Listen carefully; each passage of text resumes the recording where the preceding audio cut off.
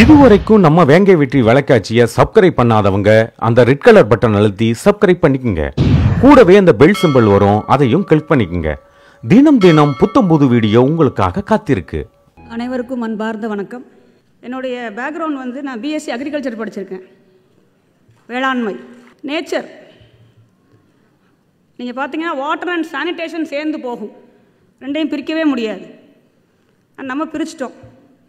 ஒரு சின்ன எக்ஸாம்பிள் சொல்கிறேன் நம்ம உடம்பு.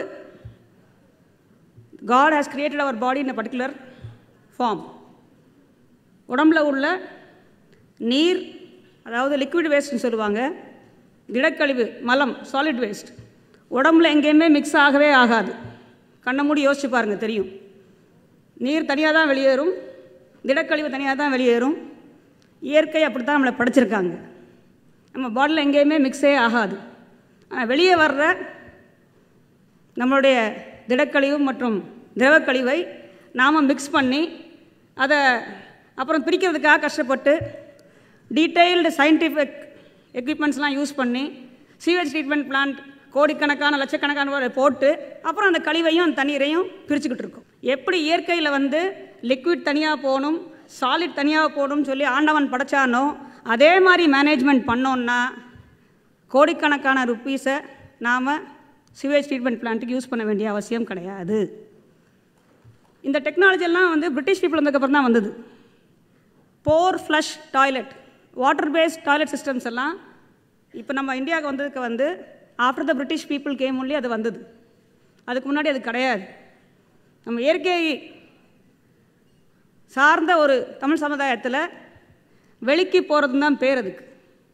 கோயிங் அவுட் அதை இயற்கை உரமாக யூஸ் பண்ணிகிட்டு இருந்தாங்க பாப்புலேஷன் ஜாஸ்தியாச்சு அர்கனைசேஷன் ஜாஸ்தியாச்சு வெளிக்கு போகிறதுக்கான இடம் கிடைக்கல நம்ம.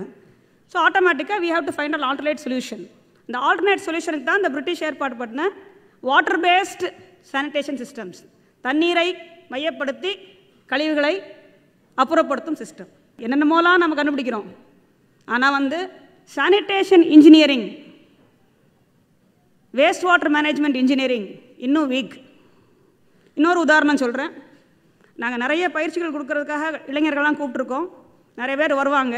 ஆனால் லைக் பண்ணுறது பார்த்தீங்கன்னா கம்ப்யூட்டர் கம்ப்யூட்டர் கோர்ஸ் கொடுங்க. அப்படி இல்லைன்னா எலக்ட்ரிஷியன் கோர்ஸ் கொடுங்க.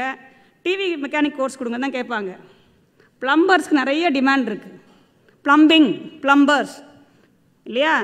வீட்டில் ஒரு நாளைக்கு பாத்ரூமோ டாய்லெட்டோ ஒர்க் பண்ணனா நம்ம கஷ்டம் நமக்கு தான் தெரியும். ஆனால் அதற்காக பயிற்சி தர்றோம் வாங்கன்னா வர்றது கிடையாது. ஒரு மென்டல் பிளாக் இருக்குது ஏன்னா சானிடேஷன்னா அசிங்கம் கழிவுனா அசிங்கம். ஸோ அதற்கான ஒரு பயிற்சியை நான் எடுத்துக்கணும்னா அது அசிங்கம். இன்னொரு உதாரணம். Swachh Bharat mission clean India campaign பேசுகிறோமா அதில் என்ன பார்க்குறோம் நம்ம? ஆளுக்கு ஒரு விளக்கமாறும் நீண்ட ஒரு ரூம் வச்சு ஸ்வீப் பண்ணுற மாதிரி தான் காட்டுறோம். அது மட்டுமா சானிடேஷன் அது மட்டுமா கிளீனினஸ் கிடையாது. இல்லையா? வழக்கமாக வச்சு நான் ஒரு செல்ஃபி எடுத்தேன்னா நான் கிளீனஸ் கேம்பெயினில் பார்ட்டிசிபேட் பண்ணியாச்சுன்னு நினச்சிக்கிறோம். மாற்றம் மனதளவில் நம்மக்கிட்ட வரணும். We should change from within அந்த மாற்றம் உள்ளேருந்து வரலன்னு சொன்னால் கண்டிப்பாக இந்த மாதிரி நிறைய பேரழிவுகள் வரப்போகுது. நம்ம நம்மளை மாற்றிக்கலன்னு சொன்னோம்னா nature is not going to change itself nature will be nature நான் சொன்ன மாதிரி தண்ணி எங்கே தேங்குமோ அங்கே தான் தேங்கும். நாம் அங்கே போய் வீடு கட்டி வச்சுட்டு தண்ணி தேங்குதேன்னு சொன்னோம்னா அது நம்ம குற்றம். தண்ணியோட குற்றம் கிடையாது. நீர் மேலாண்மையில் நம்மளுடைய முன்னோர்கள் தான் உலகத்துக்கே முன்னோடி. இந்த வாட்டர் மேனேஜ்மெண்ட் சிஸ்டம் சொல்கிறது வந்து ஆறு ஏரி ஏரி மூலமாக வெளியேற தண்ணி கலங்கள் மூலமாக வெளியே வந்து மடுவு இருக்கும் சர்ப்ளஸ் வியர்னு சொல்லுவாங்க. கலங்கள் சர்ப்ளஸ் கோர்ஸ்னு சொல்லுவாங்க. அதன் மூலமாக தண்ணி வெளியேறி வந்து குட்டை தாங்கல் தாங்கல்லாம் தேங்கி நிற்கிற இடம். தாங்கல் மூலமாக அடுத்த ஒரு ஏரிக்கு போகும் வேறு ஊருக்கு போகும். இந்த மாதிரி ஒரு சிஸ்டமேட்டிக் அரேஞ்ச்மெண்ட்ஸ் வந்து அந்த காலத்தில் இருந்திருக்கு.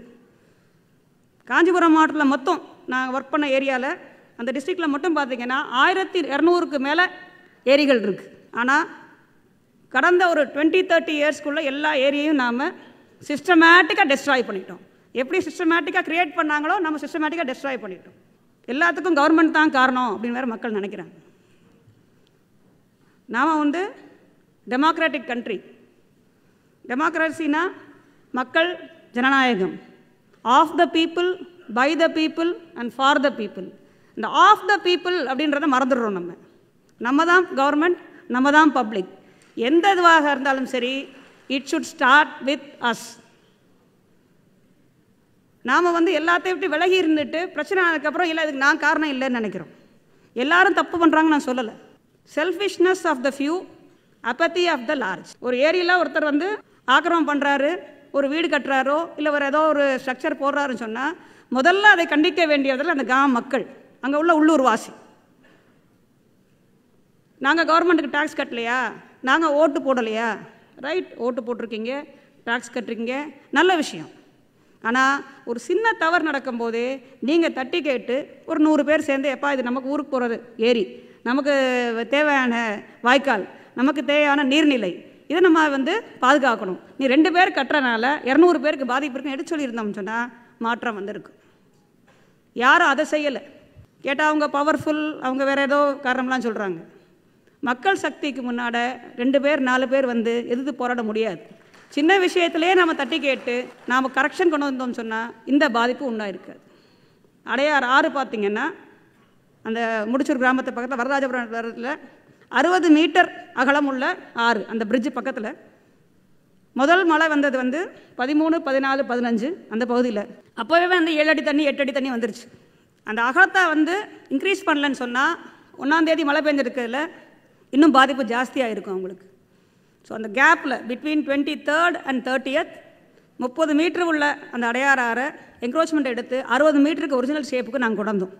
இது பிட்வீன் டூ ரெயின்ஸ் ஃபஸ்ட் ரெயினுக்கும் செகண்ட் ரெயினுக்கும் உள்ள கேப்பில் ஸோ அந்த அறுபது மீட்டருக்கு கொண்டு வரும்போது பாதிப்புக்குள்ளான குடும்பங்கள் நூற்றி இருபத்தேழு பேர். உடனே அரசாங்கத்தில் ஆர்டர் கேட்டு அந்த நூற்றி இருபத்தேழு பேருக்கு குடும்பங்களோடு சேர்ந்து பெரும்பாக்கம் ஸ்லம் கிளியரன்ஸ் போர்டில் மாற்றிட்டு தான் நாங்கள் அந்த கிளியரன்ஸ் பண்ணோம். அந்த நூற்றி இருபத்தி பேருக்கும் வீடு கிடச்சிருச்சு. அந்த அக ஆழப்படுத்தினால ஒரு ஐயாயிரம் குடும்பங்கள் காப்பாற்றப்பட்டது. Impartial decision making and proper execution இது ரெண்டும் இருந்ததுன்னு சொன்னால் பொதுமக்கள் நமக்கு சப்போர்ட் பண்ணுற ரெடியாக இருக்கா. ஸோ என்னுடைய எக்ஸ்பீரியன்ஸ் இந்த ஃப்ளட் ரிலீஃப்லேயும் சரி என்னுடைய டுவெண்ட்டி இயர்ஸில் கவர்மெண்ட் சர்வீஸ்லேயும் சரி பீப்புள் ஆர் குட் ஆனால் அந்த குட்னஸ் வந்து டிசாஸ்டர் மட்டுமே வரக்கூடாது. எப்படா ஒரு வெள்ளம் வரும் எப்படா ஒரு சுனாமி வரும் எப்படா ஒரு தானே வரும் அப்போ தான் இந்த நம்ம குட்னஸோ மனிதாபிமானமோ வரக்கூடாது. அது எப்பயுமே இருக்கணும் நமக்கு. ஒரு கவர்மெண்ட் ஆஃபீஸரோ இல்லை கவர்மெண்ட் சிஸ்டமோ நல்லபடியாக செயல்படணும்னு சொன்னால் பப்ளிக் சப்போர்ட் இருந்ததுன்னு சொன்னால் சிஸ்டமேட்டிக்காக நம்ம அந்தந்த ஸ்டேஜ்லேயே அந்தந்த தவறுகளை கலைத்தோம்னா இது மாதிரி ஒரு இடர்பாடு வரும்போது எந்த பிரச்சனையும் இல்லாமல் நம்ம எக்ஸிக்யூட் பண்ண முடியும்.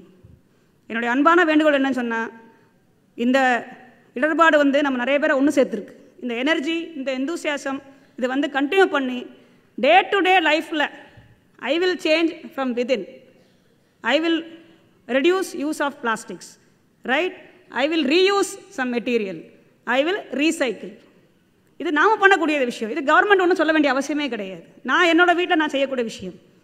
அதே மாதிரி வந்து ப்ரிவெண்ட் ப்ரொடெக்ட் அரசாங்க சொத்து எல்லாமே ஏன் சொத்து? ஒரு ஸ்கூலாக இருக்கலாம் ஒரு ஆஸ்பத்திரியாக இருக்கலாம் ஒரு ரோடாக இருக்கலாம் ஒரு தெருவிளக்காக இருக்கலாம் எது இருக்கலாம். இது எல்லாமே என்னோடய சொத்து. என்னோடய சொத்தை நான் பாதுகாப்பேன். யாராவது டேமேஜ் பண்ணால் நான் தட்டி கேட்பேன்.